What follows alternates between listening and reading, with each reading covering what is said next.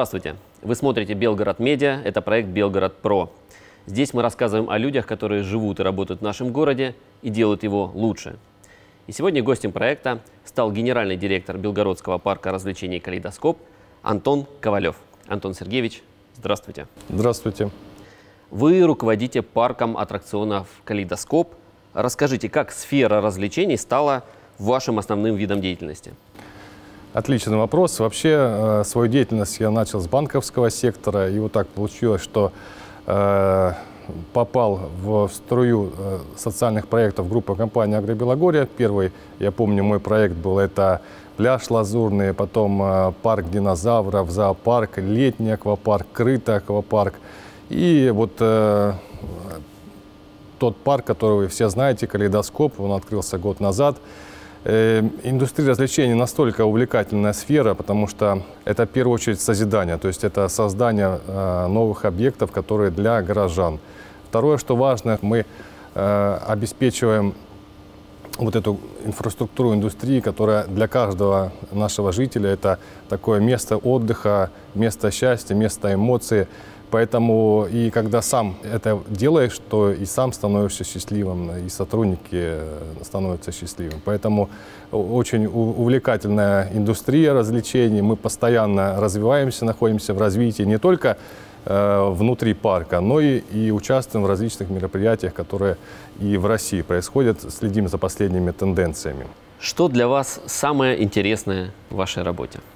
Самое интересное, это вот, ну, к примеру, даже парк «Калейдоскоп». Буквально год назад э, парка не было, да, он появился. И вот все локации, которые здесь есть, которыми пользуются люди, э, вот э, мы с командой их вместе создаем. Мы придумаем названия аттракционов, там, да, они такие все интересные, тематические. И вот каждый участвует в том или ином придумывании, да, и потом, когда наши посетители э, идут в эту зону, когда они там в восторге от этой зоны или от этого аттракциона, э, и мы понимаем, что и мы организовали вот этот сам процесс обслуживания, который позволяет комфортно пребывать. Это самое интересное, когда получаешь удовольствие от того, что людям нравится. А, парк аттракционов э, «Калейдоскоп» открыл свои двери для посетителей, как вы сказали, в прошлом году, в 2023. Чем он отличается от других парков? Это открытый парк, 20 гектар, и здесь тематизированная зона. Парк аттракционов сам это 10 гектар. Э, у нас несколько зон. Э, зона Стимград, заколдованная деревня, белгородские забавы, потом пруд, э, катамараны. Есть еще сказочный лес, который представляет себя 2 километра дорожек, там дом узорника. Получается, отличается тем, что у нас динамичные аттракционы на любой возраст – на любую категорию. У нас самые лучшие производители аттракционов, они самые надежные. Такой парк, я считаю, он э, лучший в Черноземье и в области. Поэтому тема отличается. И самое главное, добавляет природа. Какая красота деревьев вокруг. Да? То есть э, мы все эти насаждения в процессе стройки сохранили. И вот когда идешь по территории парка, вот эти дорожки пешеходные, когда высокая зелень уже, растительность, то вот эта уникальность э, нашего Черноземья, Белогорья, которую э, даже не повторить. Что нового еще предстоит увидеть белгородцам и гостям нашего города в парке развлечений в ближайшее время? Парк «Калейдоскоп» – наша самая главная задача, чтобы он стал круглогодичным. Мы эту задачу не то что планомерно, настолько динамично выполняем и считаем, что ее выполнили. Потому что э, сейчас мы говорим, парк «Калейдоскоп» – это круглогодичный парк.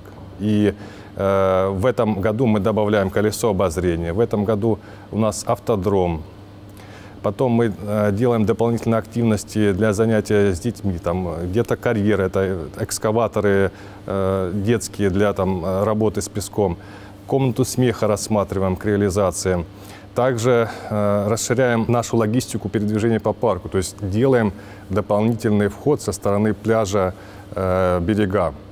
У нас э, доминанта появилась на главном входе скульптура Ломоносова потому что Ломоносов у нас изобрел калейдоскоп, а у нас парк калейдоскопа, это символично. И вообще мы ищем такие моменты, которые э, знаковые, можно э, применить у нас в парке. Кстати, вот в 2025 году сейчас э, на стадии производства русские горки, это большая конструкция, вот, 20 метров, даже 35 метров длиной, 18 метров высотой, это грандиозное сооружение.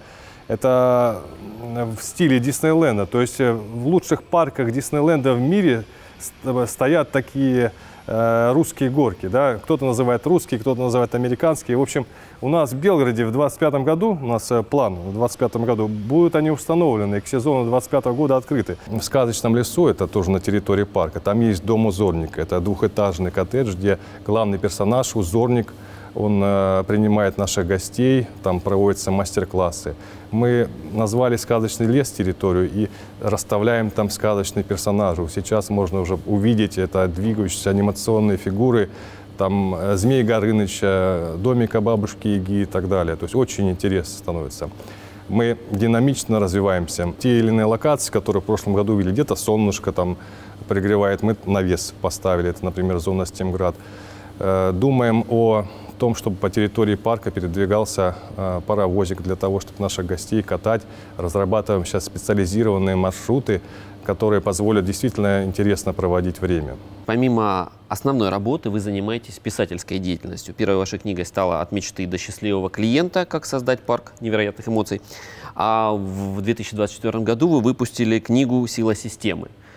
О чем эти книги и почему для вас важно делиться своим опытом с другими людьми? Столько уже наработок, которые необходимо оформить э, в тот или иной там, документ. Мы начали на предприятии делать регламенты, инструкции, там, да, э, проводить обучение, занятия с персоналом, с руководящим составом. И как-то я подумал о том, что если знания не записывать, и, то они просто пропадут. И вот э, почему бы не написать книгу? И оказывается, это творческий процесс. Э, мне он даже как-то и понравился, и не настолько он сложный. Поэтому на книгу мне нужно ровно год. И вот э, я поставил себе задачу раз в год э, выпускать по книге. И пока эту задачу выполняю, потому что в 2023 году вот у меня появилась «От мечты до счастливого клиента». Там описана технология создания успешного парка, приведены примеры всех парков, которыми я занимался, и особенности управления парками в этой книге можно подчеркнуть. Очень интересная книга не только для тех, кто занимается э, вообще в индустрии развлечений, но и для всех, для широкого круга читателей, потому что там основные базовые принципы управления любым предприятием. «Сила системы. Как построить бережливый бизнес» — это уже книга про управление. Здесь э, рассказаны основные методы управления, как именно управлять, что необходимо э, делать, как создавать систему, почему важно создавать систему, что будет, если работать вне системы. Это книга для руководителей, менеджеров, собственников, то есть для всех, кто хочет, чтобы у него был бизнес э, настроенный. Он выступал не пожарником при тушении пожара, а э, занимался стратегией развития. То есть не в ручном режиме, а что все работало как механизм, как налаженные хорошо Обязательно. часы. Это ключевая задача вообще каждого э, руководителя и каждого предприятия. И э, не стою на месте. Сейчас редактируется новая книга. Она называется «Счастье в деталях». Мы хотим ее выпустить в декабре этого года. Однако э, уже думаю о следующих э, книгах. Это есть рабочее название «В отпуск легко», потому что о чем она будет, да? Э, самое важное – это умение делегировать, умение научить работать каждого сотрудника, каждого руководителя по определенной э, системе. И вот я подумал о том, что необходимо написать книгу про то, как э, правильно именно управлять с точки зрения руководителя предприятия, описать все бизнес-процессы руководителя предприятия в алгоритмах. Важная идея заключается в постоянных ежедневных улучшениях, то есть бережливое мышление формировать. И вот э, здесь э, есть такая технология кайдзен, но это просто улучшение, которое мы также применяем э, в любой точке мира. Например, у нас в России развито бережливое производство. С успехом это применяем, потому что это важно не только в в организации офисного пространства, но и в организации складского хозяйства, в организации логистики всего парка и не только парка. Поэтому э, одна из следующих книг, это, она будет называться «Бизнес в порядке», где именно я расскажу, почему важен порядок, из чего состоит порядок, как его сделать и поддерживать и управлять. Еще есть одна идея, очень э, популярными становятся книги в виде комиксов.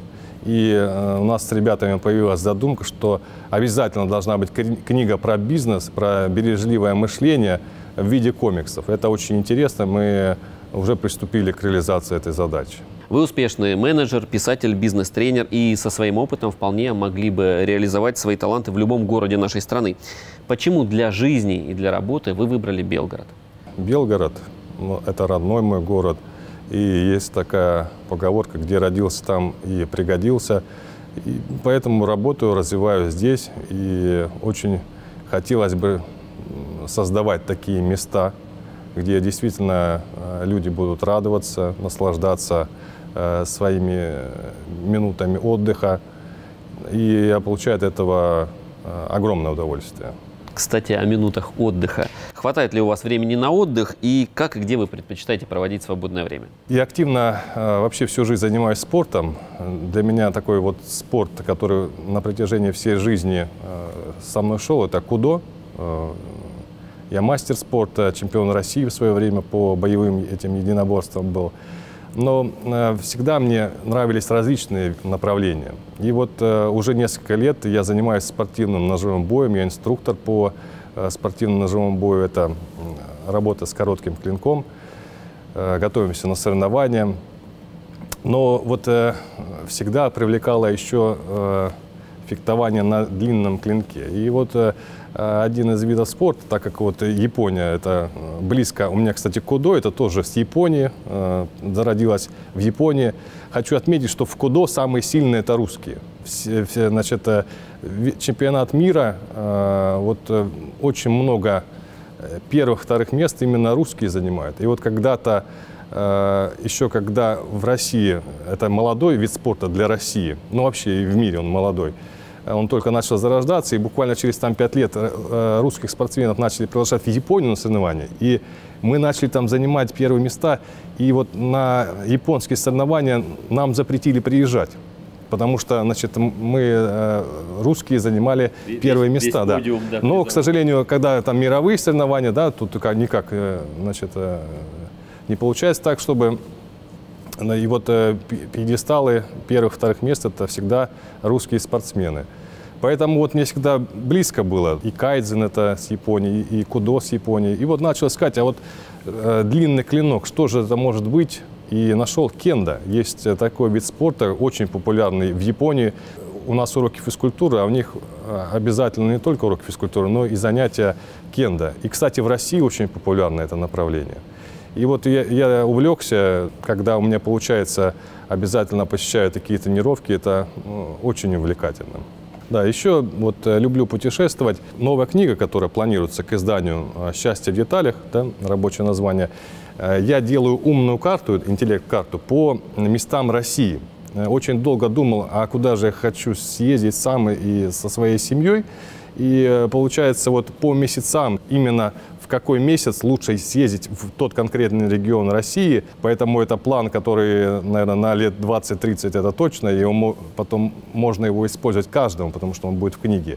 Э, путешествие – это развитие насмотренности, это появляются новые идеи, это знакомство с новыми людьми, как они живут, все находится в сравнении, и ты потом можешь э, это применить на своем рабочем месте или в своем быту. Вот, кстати, недавно я был в Японии, вот буквально месяц назад, учился на заводе Toyota, это автогигант, и там, значит, э, уточнял те или иные моменты, связанные с управлением. Повезло, что попал еще на цветение сакуры. Это но наши деревья ничем не хуже. Я приехал, у нас свои, свои э, яблони. Э, цветут, да, цветут не менее не красиво. Менее красиво да. Да. Спасибо за интересную беседу, Антон Сергеевич. Я напоминаю, что сегодня гостем проекта «Белгород Про» был генеральный директор Белгородского парка развлечений «Калейдоскоп» Антон Ковалев.